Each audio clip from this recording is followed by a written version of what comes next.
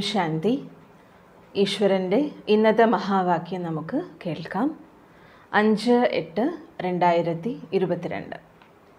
ഭഗവാൻ ഇന്ന് പറയുന്നത് മധുരമായ കുട്ടികളിൽ സമയം വളരെ കുറച്ചു മാത്രമാണ് അവശേഷിക്കുന്നത്.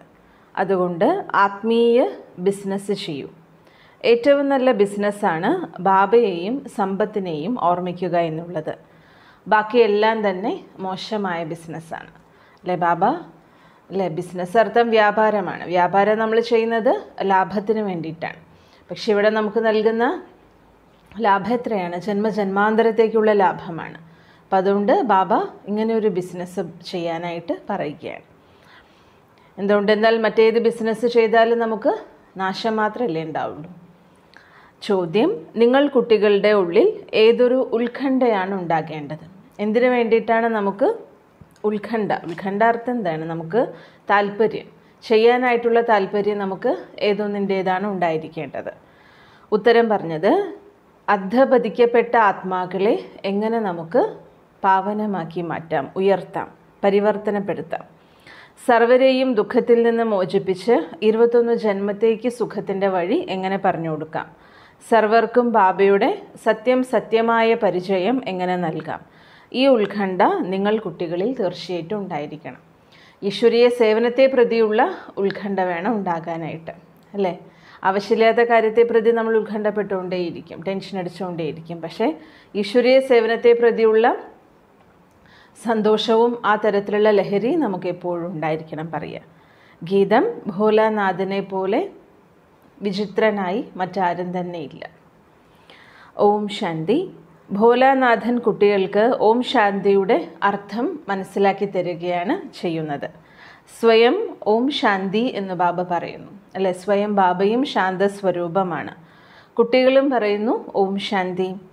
ഇത് തന്റെ പരിചയം നൽകുന്നത് മാത്രമാണ്. അതായത് നാം ആത്മാക്കൾ ശാന്തസ്വരൂപരും ശാന്തിധാം നിവാസികളുമാണ്. അല്ലെ? ജാൻകി ദാദിജി നമ്മളോട് എപ്പോഴും പറയുമല്ലോ ഓം ശാന്തി എന്നുള്ളതിന് മൂന്നർത്ഥമുണ്ട് എന്ന് പറയും. മൂന്ന് ഓം ശാന്തികൾ പറയാറുണ്ട്. ഒന്ന് ഞാൻ ആത്മാവ് ശാന്തിയുടെ സ്വരൂപമാണ്. രണ്ട് ശാന്തി ശാന്തിധാമമാണ് എന്റെ വീട്. മൂന്ന് എന്റെ അച്ഛൻ ശാന്തിയുടെ സാഗരനാണ്. അപ്പോൾ ബാബി ഇവിടെ അതാ പറയുന്നത് ഓം ശാന്തി എന്ന് പറയുമ്പോൾ നമുക്ക് നമ്മുടെ വീടിനെ കുറിച്ചുള്ള ഓർമ്മയും വേണം. നമ്മുടെ അച്ഛനും അവിടുത്തെ വാസിയാണ്. അപ്പോൾ അച്ഛന്റെ സ്മൃതിയായില്ലോ. ഭക്തി മാർഗത്തിൽ നമ്മൾ അച്ഛൻ പരംപിത പരമാത്മ എന്നാണ് പറയുന്നത്. നമ്മളിവിടെ ജ്ഞാനമാർഗത്തിൽ ശിവബാബ എന്ന് വിളിക്കുന്നു. മനുഷ്യർ പാടുന്നുണ്ട് പക്ഷേ മഹിമ പാടുന്നുണ്ടെങ്കിലും രാവണന്റെ സമ്പ്രദായം അനുസരിച്ചിട്ടാണ് മനുഷ്യർ നടന്നുകൊണ്ടിരിക്കുന്നത്. രാവണന്റെ മതമാണ് മനുഷ്യനെ ഇത്രത്തോളം മോശമാക്കി മാറ്റുന്നത്. ബാബ വന്ന് മോശമായതിനെ ശരിയാക്കി തരികയാണ്. ഒന്ന് രാമൻ പിന്നൊന്ന് രാവണൻ. രണ്ടെണ്ണാണല്ലോ. അഞ്ചു വികാരങ്ങളും ഒരുമിച്ച് ഉള്ളതിനെയാണ് നമ്മൾ രാവണൻ എന്ന് പറയുന്നത്. രാവണൻ തന്റെ രാജ്യത്തിന്റെ സ്ഥാപന നടത്തിക്കൊണ്ടിരിക്കുകയാണ്. രാവണരാജ്യം ഇതാണ് ഈ കലിയുഗം.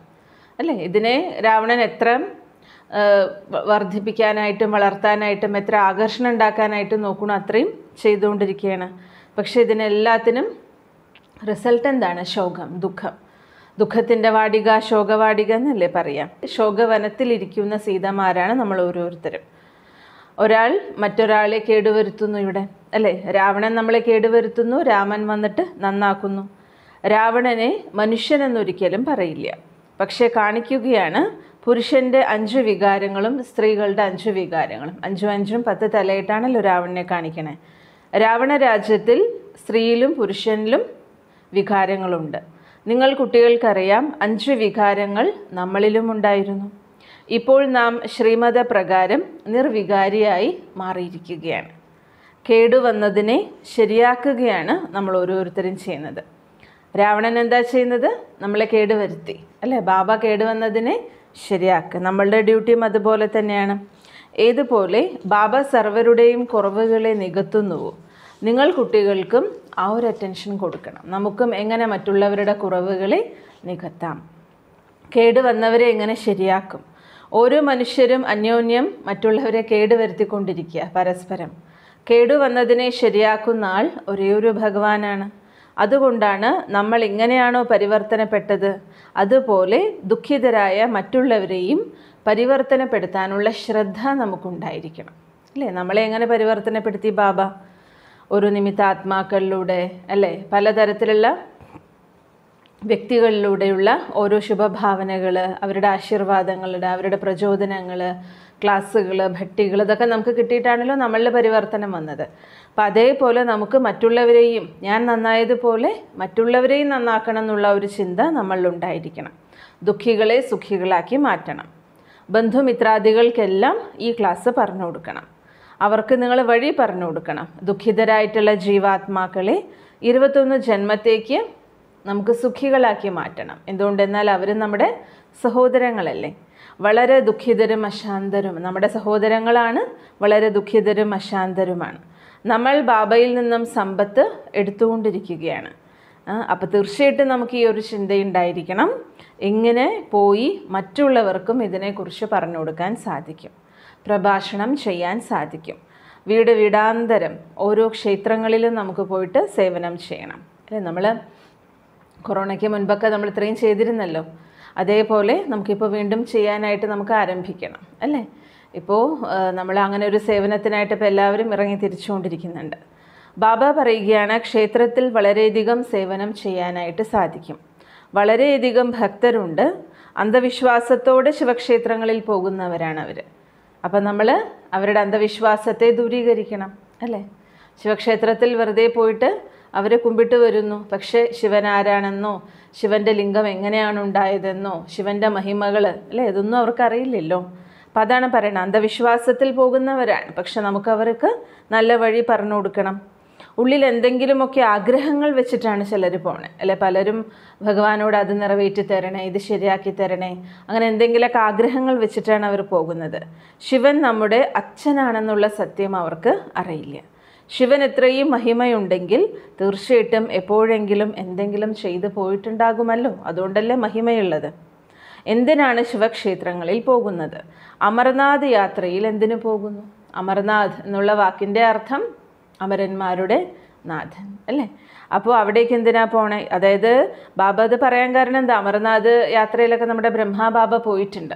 വളരെ കഷ്ടപ്പാടോടുകൂടിയിട്ട് പോയി പോയിരിക്കുന്നത്. അതിനിടയിൽ കൊടുങ്കാറ്റ് വന്നു. കൊടുങ്കാറ്റ് വന്നിട്ട് പകുതി പേര് തിരിച്ചു പോയിത്രേ. പക്ഷെ ബാബ മാത്രം അമർനാഥ് ദർശനം കണ്ടിട്ടേ പോയുള്ളൂ. അപ്പം അങ്ങനെ അമർനാഥ് യാത്രയ്ക്ക് വളരെ മഹിമയാണ്. കാരണം ദുരൂഹത കുറച്ച് കൂടുതലുള്ള യാത്രയാണ്. വളരെയധികം യാത്രക്കാരെ ബ്രാഹ്മണരും സന്യാസിമാരും കൊണ്ടുപോകാറുണ്ട്. ഇത് ഭക്തി മാർഗത്തിലെ ബിസിനസ്സാണ് കാരണം എന്താ? ബ്രാഹ്മണരും അതുപോലെ വഴികാട്ടികളായിട്ടുള്ളവരൊക്കെ കൊണ്ടുപോയി കഴിഞ്ഞാൽ അവർക്ക് എന്തെങ്കിലുമൊക്കെ ദക്ഷിണ കൊടുക്കുമല്ലോ യാത്രക്കാർ ഇതുകൊണ്ടൊന്നും ആരുടെയും പരിവർത്തനം ഇതുവരെ സംഭവിച്ചിട്ടില്ല. നിഷ്കളങ്കരുടെ നാഥനായ ബാബ തന്നെയാണ് വന്ന് പതിതരെ പാവനമാക്കി മാറ്റുന്നത്. ബാബ വിശ്വത്തിന്റെ രചയിതാവാണ് അധികാരിയാണ്. എന്നാൽ സ്വയം ബാബ വിശ്വത്തിന്റെ അധികാരിയായിട്ട് മാറുന്നില്ല. അല്ലേ? ബാബ വിശ്വത്തിന്റെ രചയിതാവാണ്. മുഴുവൻ എന്താ പറയുക പ്രപഞ്ചത്തിന്റെയും നാഥനാണ് ബാബ. പക്ഷേ നമ്മയാണ് ബാബ വിശ്വത്തിന്റെ അധികാരിയാക്കിയിട്ട് അതായത് സൃഷ്ടിയുടെ സത്യുഗി രാജ്യാധികാരിയാക്കിയിട്ട് മാറ്റുന്നത്. നിങ്ങൾ കുട്ടികളെയാണ് ആക്കുന്നത് ബാബ ആകുന്നില്ല. എന്നാൽ ബാബ ഏറ്റവും ശ്രേഷ്ഠനാണ്. ബാബയിൽ നിന്നാണ് നമുക്ക് ഈ വിശ്വത്തിന്റെ രാജ്യാധികാരി പദവിയുടെ സമ്പത്ത് ലഭിച്ചിരിക്കുന്നത്. നിങ്ങളുടെ ഹൃദയത്തിൽ തോന്നണം. എങ്ങനെ എന്റെ സഹോദരി സഹോദരന്മാർക്ക് ഞാൻ വഴി പറഞ്ഞു കൊടുക്കും? ആരെങ്കിലും ദുഃഖിയോ രോഗിയോ ആയി കാണുകയാണെങ്കിൽ അവരോട് ദയവ് തോന്നാറില്ലേ? ബാബ പറയുകയാണ് ഞാൻ നിങ്ങളെ ഈ രീതിയിൽ സുഖികളാക്കിയിട്ട് മാറ്റുകയാണ്. അരക്കൽപ്പത്തേക്ക് യാതൊരു തരത്തിലുള്ള അസുഖവും നിങ്ങൾ കുട്ടികൾക്ക് ഉണ്ടാവുകയില്ല. നിങ്ങൾ കുട്ടികൾ മറ്റുള്ളവർക്ക് സുഖധാമത്തിലേക്കുള്ള വഴി പറഞ്ഞു കൊടുക്കണം. സേവനത്തിൽ അത്രയും താല്പര്യമുള്ളവർ. അല്ലേ? സേവനത്തെ അതിനാണ് ബാബ ഉത്കണ്ഠ എന്നുള്ളൊരു ശബ്ദം ഉപയോഗിച്ചിരിക്കുന്നത്. സേവനത്തോട് അത്രയും ലഹരിയുള്ളവർ ഒരു സ്ഥലത്ത് അവർക്ക് ഒരിക്കലും ഇരിക്കാൻ സാധിക്കില്ല. അവർ മനസ്സിലാക്കും എനിക്കും പോയി മറ്റുള്ളവർക്ക് സുഖധാമത്തിലേക്കുള്ള വഴി പറഞ്ഞു കൊടുക്കണം. ബാബ നല്ലതുപോലെ ദിവസേന നമ്മളെ അലങ്കരിച്ചുകൊണ്ടിരിക്കുന്നുണ്ട് അല്ലേ? ജ്ഞാനത്തിന്റെ അലങ്കാരം നടത്തുന്നുണ്ട്. അവിനാശി ജ്ഞാനരത്നങ്ങളുടെ നല്ല ധാരണയുണ്ടെങ്കിൽ വളരെയധികം പേരുടെ മംഗളം നമുക്ക് ചെയ്യാൻ സാധിക്കും. ജ്ഞാനത്തെ സ്വയം ധാരണ ചെയ്താൽ ദാനം ചെയ്യണമെന്ന് നമുക്ക് തോന്നും. ഈ രാജ്യത്തിന്റെ സ്ഥാപനയിൽ പൈസയുടെ യാതൊരു ആവശ്യവും ശരിക്കും വരുന്നില്ല. മറ്റുള്ളവർ അതായത് ലോകത്തിലുള്ള മനുഷ്യർ രാവണന്റെ മതപ്രകാരം അന്യോന്യം വഴക്കടിച്ചുകൊണ്ടിരിക്കുകയാണ് ചെയ്യുന്നത്. കാരണം നേരത്തെ ബാബ പറഞ്ഞു ഓരോ സ്ത്രീയിലും പുരുഷനിലും പഞ്ചവികാരങ്ങളാണെന്ന്. നമ്മൾ രാവണനിൽ നിന്നും രാജ്യം പിടിച്ചെടുത്തിരിക്കുകയാണ്. രാമരാജ്യം രാമനിലൂടെ തന്നെയാണ് നമുക്ക് പ്രാപ്തമാക്കുക. അല്ലേ? ശിവബാബ തന്നെയാണ് വന്ന് നമുക്ക് സത്യുഗീയ രാജ്യത്തിന്റെ സ്ഥാപന നൽകുന്നത്. സത്യുഗത്തിൽ രാമരാജ്യം ആരംഭിക്കുന്നു. കലിയുഗത്തിന് രാവണരാജ്യം എന്നും പറയുന്നു.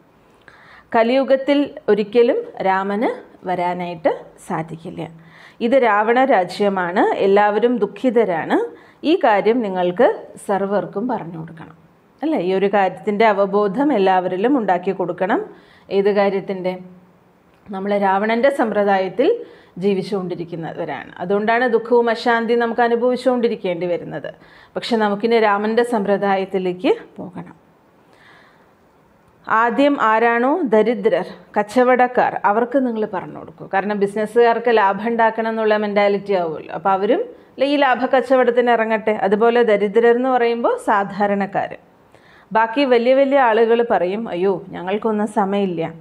ഞങ്ങൾ വളരെ തിരക്കിലാണെന്ന് പറയും. അവർ കരുതുകയാണ് ഭാരതത്തെ സ്വർഗമാക്കി മാറ്റുന്നത് അവരാണ്. അല്ലേ? വലിയ ബിസിനസ്സൊക്കെ ചെയ്ത പൈസ കൊണ്ട് വലിയ മണിമാളികകളൊക്കെ കെട്ടി ഒരുപാട് സൗകര്യങ്ങളിൽ ജീവിക്കുമ്പോൾ അവരുടെ വിചാരം അവരാണ് സ്വർഗത്തിൽ ഇരിക്കുന്നതെന്നാണ്. പ്ലാനുകളൊക്കെ അതിനും ഉണ്ടായിക്കൊണ്ടിരിക്കുന്നുണ്ട് പലരും. നിങ്ങൾ കുട്ടികൾക്കറിയാം ശിവ് ബാബയ്ക്കല്ലാതെ മറ്റാർക്കും തന്നെ സ്വർഗം രചിക്കാൻ കഴിയില്ല. ഇപ്പോൾ വളരെ കുറച്ചു സമയം മാത്രമേ ബാക്കിയുള്ളൂ. രാമരാജ്യത്തിന്റെ സ്ഥാപനയിൽ ഒരിക്കലും നമ്മൾ അലസത കാണിക്കരുത്. രാവും പകലും ഈ ചിന്തയുണ്ടായിരിക്കണം. എങ്ങനെ എന്റെ സഹോദരി സഹോദരന്മാർക്ക് വഴി പറഞ്ഞു കൊടുക്കും. ഇപ്പോൾ എല്ലാവരും രാവണന്റെ മതപ്രകാരമാണ് ജീവിക്കുന്നത്. ബാബയാണെങ്കിൽ എല്ലാവരുടെയും അച്ഛനാണ്. കുട്ടികൾക്ക് വന്ന സമ്പത്ത് നൽകുകയാണ്.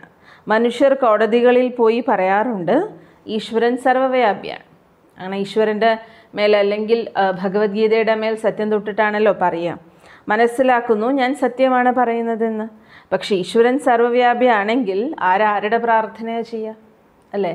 എല്ലാവരുടെയും പ്രാർത്ഥന എല്ലാവരും കൂടി ചെയ്യേണ്ടി വരും. അല്ലേ ഈശ്വരൻ സർവവ്യാപിയാണെങ്കിൽ അവർക്ക് ഇതിനെക്കുറിച്ച് ഒന്നും തന്നെ അറിയില്ല. പക്ഷെ ബാബ നമുക്ക് വീണ്ടും വീണ്ടും പറഞ്ഞു തരികയാണ് കുട്ടികളെ നിങ്ങളുടെ ബന്ധുമിത്രാദികളെ നിങ്ങൾ ആദ്യം ഉണർത്തും. ബാബ എപ്പോഴും പറയില്ലേ ചാരിറ്റി ബിഗിൻസ് അറ്റ് ഹോം അവനവന്റെ കൂടെയുള്ളവരുടെ ഉദ്ധാരണം ആദ്യം ചെയ്യും.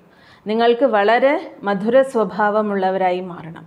ക്രോധത്തിന്റെ അംശം പോലും ഉണ്ടാകരുത്. അല്ലെ നമ്മളാരും പൊട്ടിത്തെറിച്ചുകൊണ്ട് സംസാരിക്കുന്നുണ്ടാവില്ല? പക്ഷേ ക്രോധത്തിന്റെ അംശം പറഞ്ഞാൽ മൂഡ് ഓഫ് അല്ലേ ടെൻഷൻ പരിഭ്രാന്തി പരിഭ്രമം ഇതൊന്നും ഉണ്ടാകരുത്. എന്നാൽ എല്ലാ കുട്ടികളും അങ്ങനെയുമല്ല. എല്ലാവരും ഒരുപോലെ അല്ലല്ലോ. വളരെയധികം കുട്ടികളെയും ക്രോധത്തിന്റെ വികാരം പിടിച്ചിരിക്കുകയാണ്. എത്ര പറഞ്ഞാലും അവർ മനസ്സിലാക്കുന്നില്ല. ബാബയും കരുതുന്നു ഒരു സമയം പിടിക്കും അവർ പരിവർത്തനപ്പെടാൻ. അപ്പോൾ എല്ലാവരും ബാബയുടെ സേവനത്തിന് ഇറങ്ങും സമയമാകുമ്പോൾ അല്ലേ? എല്ലാവരും ഇറങ്ങിക്കോളും തന്നെ. താല്പര്യവും വേണമല്ലോ സേവനത്തിനായിട്ട്. ബാബയോട് പറയണം ബാബ എന്നെ സേവനത്തിന് പറഞ്ഞയക്കൂ. ഞാൻ പോയി മറ്റുള്ളവരുടെ മംഗളം ചെയ്യാം എന്ന് ബാബയോട് പറയണം. കുട്ടികളുടെ ജോലി തന്നെ സത്യമായ ഗീത കേൾപ്പിക്കുക എന്നുള്ളതാണ്. രണ്ടേ രണ്ട് വാക്കിയുള്ളൂ അച്ഛനും സമ്പത്തും. ബാബ പറയില്ലേ അൽ ഫോർ ബേ അല്ലാഹു ബാദ്ഷാഹി ബാബ നല്ല യുക്തി പറഞ്ഞു തന്നിട്ടുണ്ട്. ഒന്നാമത്തെ കാര്യം ഇതാണ് പരംപിത പരമാത്മാവുമായി നിങ്ങൾക്ക് എന്തു ബന്ധമാണുള്ളത് എന്ന് നിങ്ങൾ മറ്റുള്ളവർക്ക് പറഞ്ഞു കൊടുക്കണം. താഴെ പ്രജാപിത ബ്രഹ്മകുമാരീസ് എന്ന് നിങ്ങൾ എഴുതുകയും വേണം. ബാബ വളരെ പുതിയ രീതി വളരെ സഹജമായാണ് നിങ്ങൾക്ക് പറഞ്ഞു തരുന്നത്. ബാബ നിർദ്ദേശം നൽകുകയാണ് ബാബയെ പറയുന്നത് തന്നെ ദയാസാഗരൻ. ആനന്ദത്തിന്റെ സാഗരൻ എന്നാണ്. എങ്കിലും തീർച്ചയായിട്ടും നിങ്ങൾ മക്കൾക്കും ബാബയ്ക്ക് സമാനം ദയാസാഗരനും അല്ലേ ആനന്ദത്തിന്റെ സാഗരനുമായി മാറണം. കൽപ്പം മുന്നേയും ബാബ ഇതേപോലെ യുക്തികൾ നമുക്ക് പറഞ്ഞു തന്നിട്ടുണ്ട്. ഇപ്പോഴും ബാബ നൽകുകയാണ്. മനുഷ്യർക്ക് നിങ്ങൾ എത്രത്തോളം പറഞ്ഞു കൊടുക്കുന്നു നിങ്ങളുടെ കാര്യം വളരെ നല്ലതാണെന്ന് അവർക്ക് തോന്നും. കുറേ പറഞ്ഞു കൊടുക്കുമ്പോൾ അവർക്ക് ഉള്ളിൽ ഉള്ളിന്റെ ഉള്ളിൽ ആ ഒരു ഫീലിംഗ് ഉണ്ടാവും. ഹാ ഇവർ വെറുതെ പറയുകയല്ല. അല്ലേ? സറ്റാണ്ട ബാബ ഒരാൾക്ക് നമ്മൾ ഒരു പ്രാവശ്യം പറഞ്ഞു കൊടുക്കുമ്പോഴേക്കും നമ്മൾ വിട്ട് കളയരുത്. വീണ്ടും വീണ്ടും നമ്മൾ അവർക്ക് പോയിട്ട് പറഞ്ഞു കൊടുത്തുകൊണ്ടിരിക്കണം മനുഷ്യർക്ക് നല്ലതാണെന്ന് തോന്നും. ബാബയിൽ നിന്നും തീർച്ചയായിട്ടും സമ്പത്ത് ലഭിക്കുമല്ലോ. ഇതും അവരിൽ നിന്നും അവരുടെ അനുഭവങ്ങൾ എഴുതി വയ്ക്കണം നിങ്ങൾ സ്വർഗത്തിന്റെ അവകാശികളാണെന്ന് വേണമെങ്കിൽ ബോർഡിൽ എഴുതാമെന്ന് പറയാം ബാബ. വരൂ വന്ന് മനസ്സിലാക്കൂ. വളരെ സഹജമായ കാര്യമാണ്. ബോർഡുകൾ ഉണ്ടാക്കി അതും വലിയ വലിയ ബോർഡുകൾ ഉണ്ടാക്കി നല്ല നല്ല ബോർഡുകൾ ഉണ്ടാക്കി നല്ല നല്ല സ്ഥാനങ്ങളിൽ തൂക്കിയിടണം. ബാബ പറയും വലിയ വലിയ പട്ടണങ്ങളിൽ പോയിട്ട് തൂക്കിയിടും. പത്തും ഇരുപതും സ്ഥാനങ്ങളിൽ ബോർഡ് വയ്ക്കും ഈ പരസ്യവും ബാബ പറഞ്ഞ രീതിയിലുള്ള പരസ്യവും എഴുതിയിട്ട് വയ്ക്കാൻ സാധിക്കും. നിങ്ങൾ നമ്മളെ വിട്ടുപോയ കുട്ടികൾക്ക് ഈ അക്ഷരങ്ങളിലൂടെ ടച്ചിങ് തീർച്ചയായിട്ടും ലഭിക്കും. ഒന്ന് പോയി നോക്കാമെന്നവർക്ക് ബോർഡ് കാണുമ്പോൾ തോന്നണം. അല്ലേ? ആ ഇവിടെ എന്താ നടക്കണേ എന്നുള്ളത് അവർക്ക് എന്താ സംഭവിക്കണേ എന്നുള്ളത് അവർക്ക് അറിയാനുള്ള ആഗ്രഹം ബോർഡ് കാണുമ്പോൾ വരണം. ഇതും എഴുതണം. അതായത് നമ്മൾ എത്രത്തോളം ഇതിനെക്കുറിച്ച് മനസ്സിലാക്കുന്നു. അതിലൂടെ മുക്തി ജീവൻ മുക്തിയുടെ സമ്പത്തിന്റെ അധികാരിയായിട്ട് മാറാൻ സാർ ബാബ അല്ലേ? എല്ലാം എന്താ പറയുക നമ്മളോട് എന്താണോ ഇവിടെ ഉള്ളത് അത് അങ്ങനെ തന്നെ ബോർഡിൽ എഴുതാൻ പറയാം. ബാബ പറയുന്നു നിങ്ങൾക്ക് ഭാഗ്യമുണ്ടാക്കണമെങ്കിൽ സേവനം ചെയ്യൂ. ബാബ കാര്യങ്ങൾ പറഞ്ഞു തന്നു യുക്തികൾ പറഞ്ഞു തന്നു ബാക്കി ചെയ്യാ ചെയ്യാതിരിക്കുക എന്ന് പറയുന്നത് നമ്മളുടെ കടമയാണ്. സാഗരത്തിനു പക്കൽ വന്ന് അതായത് മധുബനിലേക്ക് പോയി റിഫ്രഷായി നമ്മൾ അവരവരുടെ സ്ഥാനങ്ങളിൽ പോയി മഴ പെയ്യിക്കണം ജ്ഞാനത്തിന്റെ മഴ അതായത് സേവനം ചെയ്യണം. ഭക്തിമാർഗത്തിൽ അരക്കൽപ്പം നിങ്ങൾ തിക്കും തിരക്കും കൊണ്ട് ഒരുപാട് സഹിച്ചു. ഇവിടെയാണെങ്കിൽ ഒരു സെക്കൻഡ് കൊണ്ട് ബാബയുടെ ഓർമ്മയിലിരുന്ന് ബാബയിൽ നിന്നുള്ള സമ്പത്ത് എടുക്കൂ. എല്ലാവരുടെയും വാനപ്രസ്ഥ അവസ്ഥയാണ്. അല്ലേ? എല്ലാവർക്കും തിരിച്ചു പോകാനുള്ള ടൈമായി. വാണിയിലും ഉപരിസ്ഥാനത്തേക്ക് പോകാനുള്ള സമയമായി. മരണം തൊട്ടു മുന്നിൽ നിൽക്കുകയാണ്. അതിനാൽ ബാബ പറയാണ് കുട്ടികളെ ഏറ്റവും നല്ല ഈ ഒരു ബിസിനസ്സിൽ നിങ്ങൾ ഏർപ്പെടും. ബാക്കി മനുഷ്യർ ചെയ്യുന്ന എല്ലാ ബിസിനസ്സുകളും വളരെ മോശമായതാണ്. കാരണം നഷ്ടം മാത്രമേ ഉണ്ടാകുള്ളൂ. ചെറിയ തോതിൽ ലാഭമൊക്കെ കിട്ടുന്നുണ്ടാവും. പക്ഷേ ഒറ്റയടിക്ക് ബിസിനസ് മുങ്ങിക്കഴിഞ്ഞാൽ ഒന്ന് ആലോചിച്ച് നോക്കൂ. എത്ര പേരുടെ അങ്ങനെ സംഭവിച്ചിട്ടുണ്ട്? കോളേജുകളിൽ പോയി പ്രിൻസിപ്പാളിനൊക്കെ നിങ്ങൾ പോയിട്ട് മനസ്സിലാക്കി കൊടുക്കണം. നിങ്ങൾ എത്ര സഹജമായ ഭാഗ്യമാണ് നമ്മൾ ഓരോരുത്തരും ഉണ്ടാക്കിക്കൊണ്ടിരിക്കുന്നത്. കഴിയുന്നതത്രയും എന്തു ചെയ്യുക ഇതുപോലുള്ള ഈശ്വരീയ സേവനങ്ങൾ ചെയ്ത് നിങ്ങൾ ബാബയുടെ ഓർമ്മയിലിരിക്കണം. ശരി വളരെ കാലത്തെ വേർപാടിനു ശേഷം കളഞ്ഞുപോയി തിരികെ കിട്ടിയ കുട്ടികളെ പ്രതി മാതാവും പിതാവുമായ ബാബ്ദാദിയുടെ സ്നേഹസ്മരണയും പുലർക്കാല വന്ദനവും. ആത്മീയ അച്ഛന്റെ ആത്മീയ കുട്ടികൾക്ക് നമസ്കാരം. ആത്മീയ കുട്ടികളുടെ ആത്മീയ അച്ഛനും നമസ്കാരം. ഇന്നത്തെ മുരളിയിലെ ധാരണ പോയിന്റ്സ് നമുക്ക് കേൾക്കാം. വളരെ വളരെ മധുരമുള്ളവരായി മാറണം. ആദ്യത്തെ പോയിന്റാണ് വളരെയധികം മധുരമുള്ളവരായി മാറണം. ക്രോധത്തിന്റെ അംശം പോലും പിഴുതുകളയണം ബാബയ്ക്ക് സമാനം ദയാസാഗരനായി സേവനത്തിൽ നമ്മൾ സമർപ്പണ മനോഭാവത്തോടെ ഇരിക്കണം. മരണം തൊട്ടുമുന്നിൽ നിൽക്കുകയാണ്. വാനപ്രസ്ഥ അവസ്ഥയാണ്. അതുകൊണ്ട് ബാബയെയും സമ്പത്തിനെയും ഓർമ്മിക്കൂ. ഭാരതത്തെ രാമരാജ്യമാക്കുന്നതിന്റെ സേവനത്തിൽ തന്റേതായ സർവതും സഫലമാക്കണം. വരദാനം ദേഹബോധത്തിന്റെ അംശത്തെ പോലും ബലിയർപ്പണം ചെയ്യുന്ന മഹാബലവാനായി ഭവിക്കട്ടെ. ഏറ്റവും വലിയ ബലഹീനതയാണ് ദേഹാഭിമാനം. അല്ലെ ബലഹീനത നമ്മുടെ ആരംഭിക്കുന്നതേ ഇതിൽ നിന്ന് തന്നെയാണ് ദേഹാഭിമാനത്തിൽ നിന്ന്. ദേഹാഭിമാനത്തിന്റെ സൂക്ഷ്മ അംശം തന്നെ വംശത്തിന് സമാനമാക്കി മാറ്റും. ദേഹാഭിമാനത്തിന്റെ ബലിയർപ്പണം അർത്ഥം അംശവും വംശവും സഹിതം സമർപ്പണമാകുക. അങ്ങനെ ബലിയർപ്പിക്കുന്നവർ തന്നെയാണ് മഹാബലവാനായിട്ട് മാറുന്നത്. അഥവാ ദേഹാഭിമാനത്തിന്റെ ഏതെങ്കിലും അംശം ഒളിപ്പിച്ചു വെച്ച് അഭിമാനത്തെ തന്നെ സ്വമാനമെന്ന് കരുതുന്നുവെങ്കിൽ അവരിൽ അല്പകാലത്തേക്കുള്ള വിജയം കാണപ്പെടുമെങ്കിലും വളരെ കാലത്തേക്കുള്ള പരാജയം മാത്രമായിരിക്കും. മനസ്സിലായില്ലേ? അഥവാ ദേഹാഭിമാനത്തിന്റെ എന്തെങ്കിലും അംശം ഒളിപ്പി വെച്ച് ഒളിപ്പിച്ചു വെച്ച് അഭിമാനത്തെ തന്നെ സ്വമാനമെന്ന് കരുതുന്നുവെങ്കിൽ അല്ലേ? നമ്മൾ ദേഹാഭിമാനത്തിലാണ് ഇരിക്കുന്നത്. പക്ഷെ നമ്മുടെ വിചാരം എന്താണോ? ഞാൻ ഏറ്റവും വലിയ സ്വമാനധാരിയാണ്. പക്ഷെ കാണിക്കുന്നത് മുഴുവനും പെരുമാറ്റം മുഴുവനും ദേഹാഭിമാനത്തിന്റേതാണെങ്കിൽ ലേശം വേണമെങ്കിൽ വിജയം കാണപ്പെടും അല്ലേ? നമ്മളെ ചിലപ്പോൾ മറ്റുള്ളവർ നമ്മുടെ ബഹുമാനം കൊണ്ട് നമ്മൾ അംഗീകരിക്കുന്നുണ്ടാവും. പക്ഷേ വളരെ കാലത്തെ പരാജയമാണ് ദേഹാഭിമാനത്തിലൂടെ നമുക്ക് ലഭിക്കുന്നത്. സ്ലോഗൻ താല്പര്യമില്ലായിരുന്നു പക്ഷേ നല്ലതായി തോന്നി എന്ന് നമുക്ക് അനുഭവപ്പെടുന്നതും ജീവിത ബന്ധന സ്ഥിതിയാണ്. നമുക്ക് താല്പര്യമില്ല പക്ഷേ നല്ലതായി തോന്നിയതുകൊണ്ട് നമ്മൾ ഉപയോഗിച്ചു. അല്ല? ഇതും ജീവിത ബന്ധന സ്ഥിതിയാണ്. ഓം ശാന്തി.